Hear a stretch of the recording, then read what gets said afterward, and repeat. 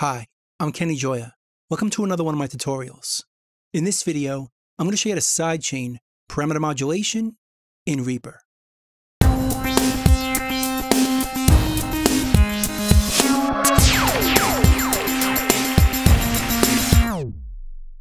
have a project in front of me here with a synth that I want to sidechain using parameter modulation. And I do it very similar to using sidechain compression, you adjust the volume of the track you're sending to to create an effect. So here's the synth.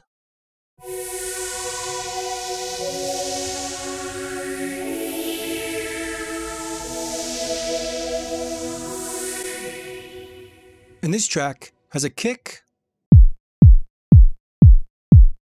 that I want to trigger the synth from. The kick part is playing from the sequencer here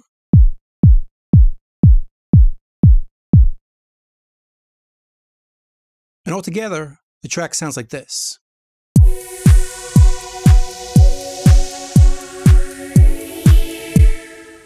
I'm going to first put a plugin on the synth track. I already have my instrument right here, my synth, but after it, I'm going to put a volume plugin. Let's type in volume, and we can use this plugin right over here, Volume Pan Smoother version 5. And with this plugin, we can control the volume of our synth.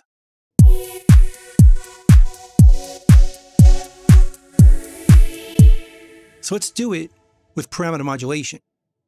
We'll select the volume as our last selected parameter, go to the menu here, and choose parameter modulation. right here we could choose how we want it to work. Using an audio control signal or sidechain, LFO, or link it from another parameter. We're going to choose this one, and we can choose what triggers it right over here. But right now, we could only choose the synth, which is on 1 and 2, which will show up here. But that's not very useful to us. We want to sidechain it or have it triggered from the kick. So let's go to the kick track and go to the routing and drag and drop it onto this plugin. See how it changes to a patch cable? Just drop it, and it creates a send to that effect, the volume plugin. We'll keep it post fader, and notice it's sending from 1 and 2 on the kick track, and it's going to 3 and 4 on the synth track. So now, our synth track should have four channels. So we can switch it right here to 3 and 4. And now a kick will be triggering the synth track. And we'll see it on the meter right here. Let's bring down the bass line so it'll start a bit lower.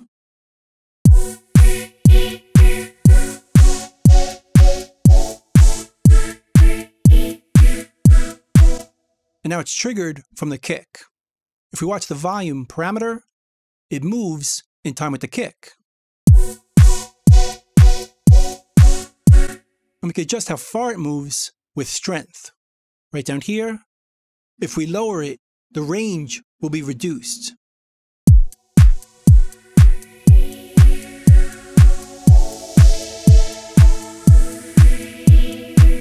And if we bring it up, the range of movement will be larger.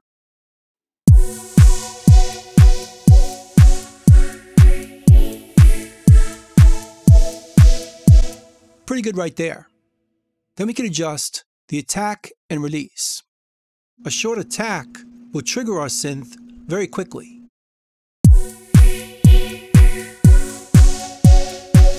Or it can fade in with a slower attack.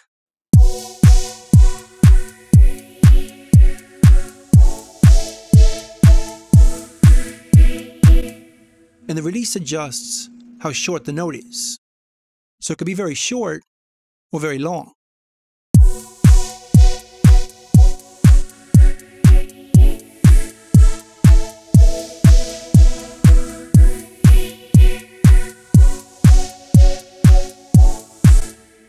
But we should really adjust the sensitivity using the minimum volume and the maximum volume. We want to set it up so the graph over here moves as far as possible. starting from here all the way up.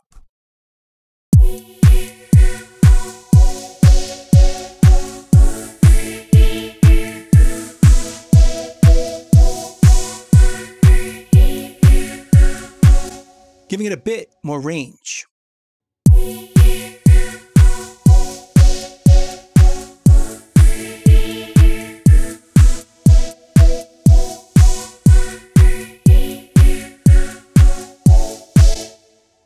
Now, once this is set up, we can change the kick part to anything we want. Let's go back to the kick drum and readjust our sequencer.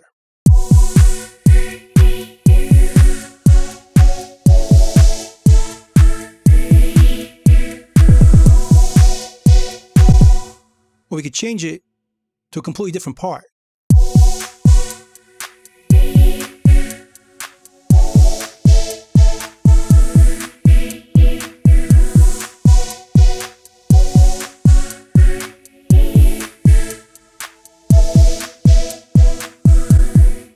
Let's put it back to quarter notes and check out another way we could use it.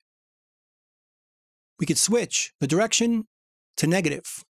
So instead of playing the synth on the kicks, it'll play in the spaces. So right now, it sounds like this. But we could switch it to negative, and it'll play in those spaces.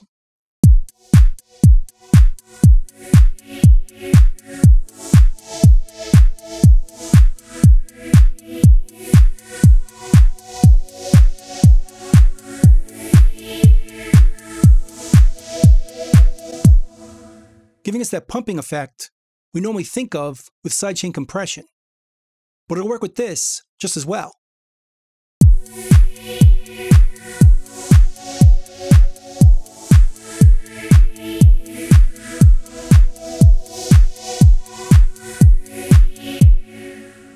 Now we don't have to use this just for volume. We could use any parameter that we want. Let's switch it to an EQ or a filter. Go back to this track, and we'll remove the volume plugin. So back to our normal synth. And instead, let's add an EQ or a filter. I'll use the Reaper one right here, ReaEQ. I'll get rid of all the bands except for one. And let's switch it to a low pass filter. Bring up the bandwidth so it sounds more filtery. We can adjust it right here with the frequency.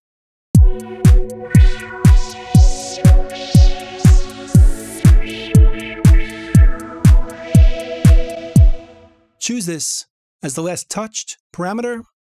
Go to parameter modulation and turn on audio control signal or sidechain. Set this up to 3 and 4, which is still a kick, readjust the baseline so it's in our range. Let's bring down the strength. Let's hear it.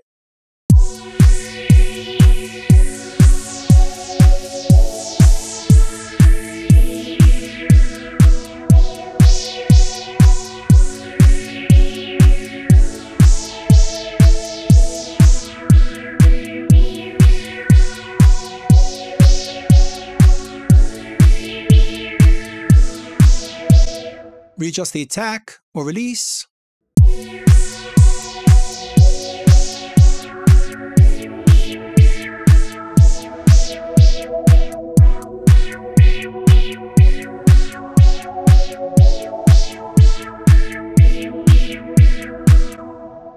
And we could also reverse it.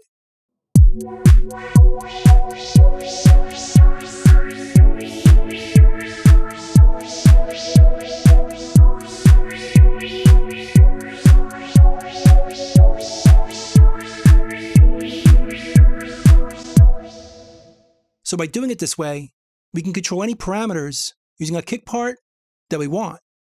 We can even turn off the kick and still get that trigger. Let's go to our routing, turn off the master parent send, and we'll still hear the triggering without hearing the kick.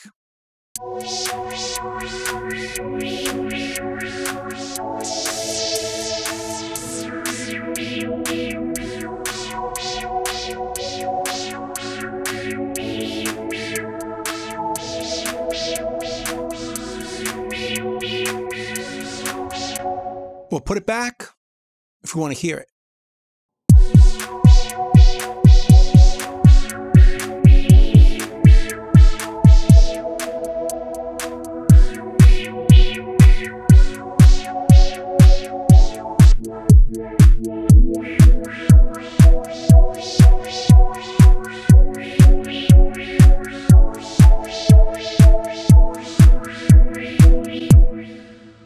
I think you get the idea. So that's sidechain parameter modulation in Reaper. I hope you learned something, hope you can use it, and I'll see you next time. Thanks.